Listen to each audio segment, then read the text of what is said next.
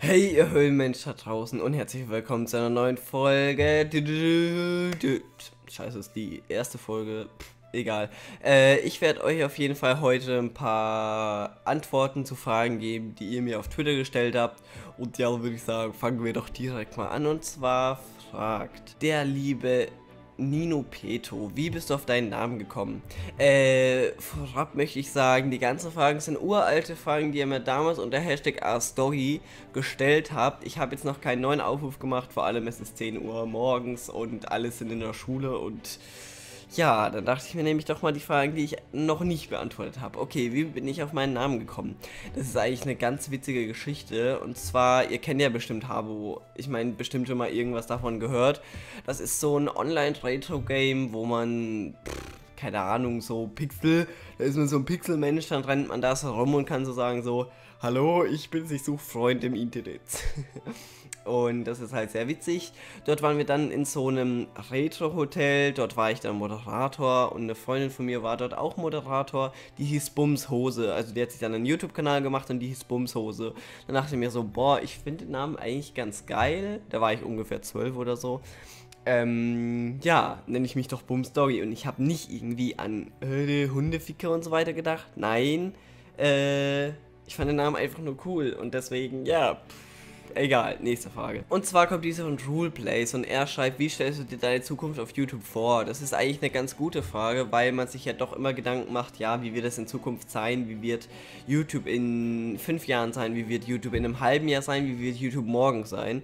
Und da kann ich euch nur sagen, ich bin ein sehr, sehr spontaner Mensch. Also wenn es jetzt heißt, yo, YouTube zieht auf eine andere Plattform um, dann ziehe ich einfach mit um. Also ich bin da nicht so jemand, der sich da einen großen Kopf drum macht, wie könnte es sein? Denn ich finde es jetzt gerade so, wie es ist, perfekt. Und zwar fragt die liebe Xenia, bist du dieses Jahr auf der Gamescom? Ich kann sagen, wahrscheinlich ja. Also ich bin zu 80% auf den Video Days in Köln und auf der Gamescom in Köln.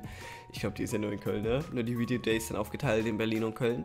Äh, ich werde bei beiden wahrscheinlich in Köln sein, ähm, aber ich weiß es noch nicht genau. Ich sage mal so zu 90% ja mit meinem Bruder und die anderen 10% ich weiß es nicht. Ähm, mal schauen, ob sich das zeitlich ausgeht. Ich weiß ja gar nicht, ob mein Bruder da überhaupt Ferien hat oder was auch immer. So, und dann fragt Black Unicorn, wenn ich in einem Film mitspielen könnte, welcher wäre es?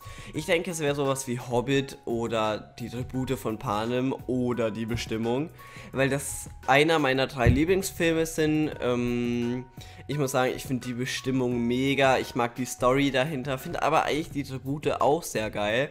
Aber Hobbit ist halt auch so ein Film, da bekomme ich Gänsehaut bei. Also generell die Herr der Ringe Teile und so weiter. Hobbit ist jetzt auch leider schon vorbei, aber was soll man machen? Ich finde die Filme mega und wenn ich, glaube ich, die Wahl hätte, würde ich von einem der drei Filme mitspielen. Dann schreibt Arne2468 Cola oder Fanta. Ich muss sagen, ich bin da eher früher total der Cola-Fan gewesen. Cola, Cola, Cola. Aber irgendwann habe ich dann so viel Cola getrunken, dass mein Bauch fast geplatzt ist. Dann habe ich Fanta getrunken und jetzt mache ich Fanta ganz gerne. Obwohl ich sagen muss, dass ich beide Sachen noch gerne mag. Also wenn ich meistens irgendwo in ein Restaurant gehe und was esse, dann bestelle ich mir meistens dazu eine Cola. Aber im Kino mittlerweile trinke ich immer eine Fanta. Das hat sich irgendwie so ergeben. Dann fragt Sandy bzw. Zuckerwatte, in welchen Ländern ich schon war und wo ich gerne noch hin würde, wenn ich die Möglichkeit dazu hätte. Ähm, ich war schon in Deutschland, da habe ich ja auch gewohnt. Ich komme ja ursprünglich aus Österreich und ich wohne hier auch.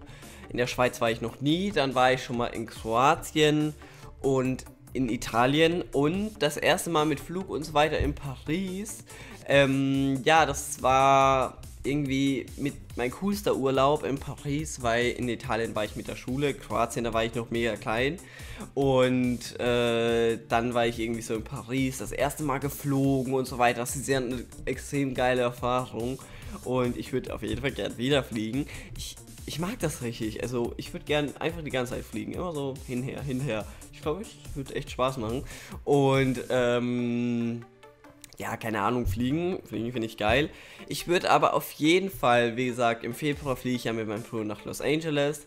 Und äh, Amerika ist sowieso ein absolutes Traumziel von mir. Ähm, trotzdem würde ich auch gerne irgendwann mal Richtung Malediven oder in andere Länder wie Australien oder sowas. Das würde ich mir auch ganz gerne mal anschauen. Äh, einfach mal, um zu gucken, wie ist es dort. Und ja, das würde ich sagen. Dann nehmen wir noch eine Frage dran und da ist das Video schon zu Ende. Schreibt der Mazed TV. Was ist dein Lieblingsspielmodus? Mein Lieblingsspielmodus generell im Minecraft ist einfach Bad Wars. Ich finde Bad Wars ist einfach so ein richtig, richtig geiler Spielmodus, der richtig viel Spaß macht.